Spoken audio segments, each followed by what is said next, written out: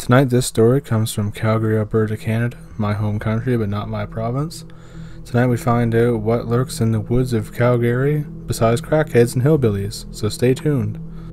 About two hours west of Calgary, deep into the foothills, but not into the mountains, I was driving home from a hiking trip with buddies, me, two guys, and two other girls. It's about 1 a.m., and the car makes an unpleasant sound.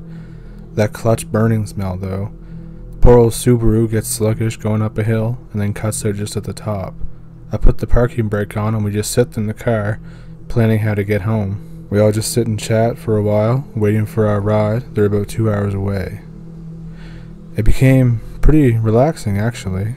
We were all tired and had a great day, and we just sat in the car debriefing and spending some quality time together.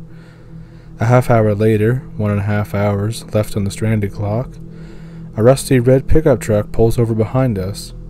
That feel when I'm pretty afraid of hillbillies. They walk up to our window and see if we need help with it, see if we need help or anything else. One of them is clearly hammered, but I don't think he was the driver.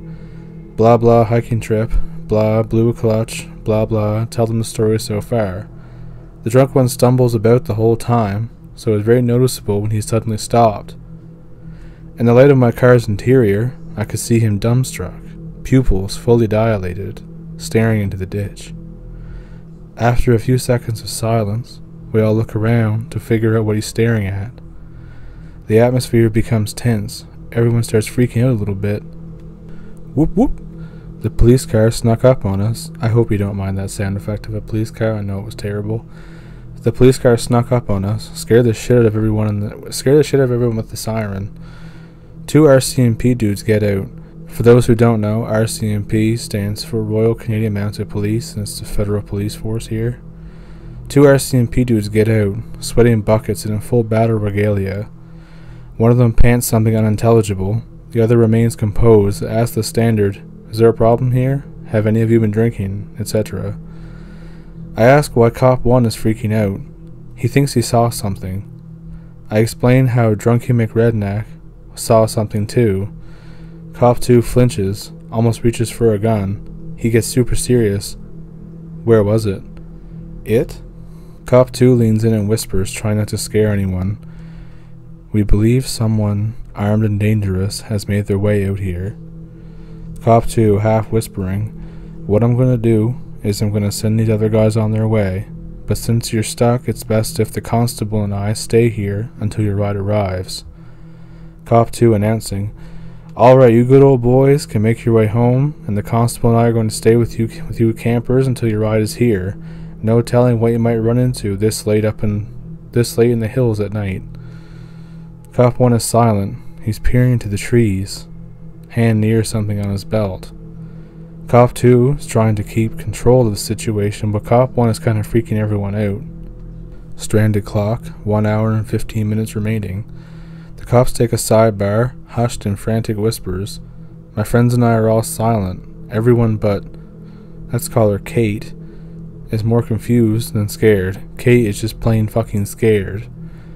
Anonette, we have to go. Now. We have to leave. Dude, calm down. We're not going anywhere without a working vehicle. We'll just wait for the friend with the van to get here. Mob psychology. Kate's starting to freak everyone else out. Let's call him Robbie. I'm starting to get a little freaked out, guys. Shut up. Cop 2 is back. He taps on the window. Holy jump scare. Everyone screams a little. Cop 2 suddenly seeming a little afraid. Listen, I don't want to freak anyone out, but something's come up. Just Stay in the vehicle and keep your windows up. It's very important that you stay put. No one leaves the car until I say so. You're about to see a lot more police officers show up. Don't be alarmed over it. Or, uh, don't get more alarmed. His radio cuts in. Unit 3, by the creek. It's got terrified screams. Help! Send help! We're all silent for a second as the walkie talkie cuts out. More cops are just showing up, asking questions like, It's near here, right? What happened by the creek? Pain screams. Some become audible, louder, closer, more frantic by the second. After a minute and a half of the most palpable tension I've ever experienced, of Kate and, let's call her Anne, sobbing in the back, half a dozen cops frantically radioing. The screams are very near us. A cop darts out of the trees, screaming at the top of his lungs. It took him. It took him. The cop whips out his gun, and as he chambers, as he clambers behind a cop car and starts shooting into the trees, the guns are out pistols, shotguns, rifles, everything. Sounds like the Battle of Vimy Ridge, to be honest, out here. All screaming and incessant gunshots. The cops are in full panic mode, wasting ammo like something you don't even see in movies.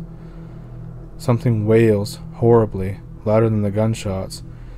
I hear, I hit the fucker, muffled by the sounds of gunpowder. They stop after a few more seconds. Everyone in the car slowly, slowly, slowly, slowly starts to unduck, but Cop 2 yells, Stay down. Another horrible wail. All of the cops are silent. I hear a few weapons hit the ground. I look up. All of the cops are gawking at something in the air above the ditch, illuminated in the searchlight. It's long, thin, and wrinkly. It's human shaped, but with no clothing, no facial features, and no genitals. Just tough, wrinkly skin, covered in infections and pustules, draped over a big, vaguely human shaped frame.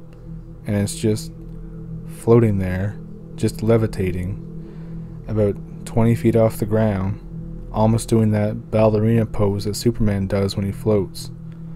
It had no eyes, but I could feel it staring. I woman out and start sobbing quietly.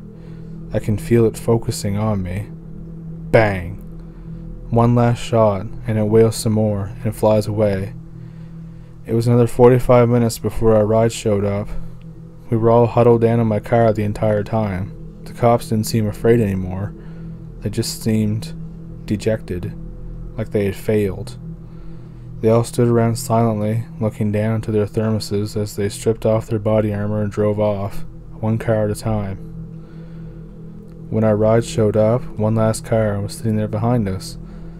Cops one and two from before got out and talked to the friend with the van before letting him see us. Those guys looked pretty scared. They told me not to ask you what happened. If something's scaring the heavily armed dudes that much, maybe I won't ask. And that was the end of it. We rode home in silence. I'm almost afraid to make eye contact, as if the slightest communication would make what happened even more real. We still go hiking sometimes, but we never talk about that. And we don't wait too long to hit the road either.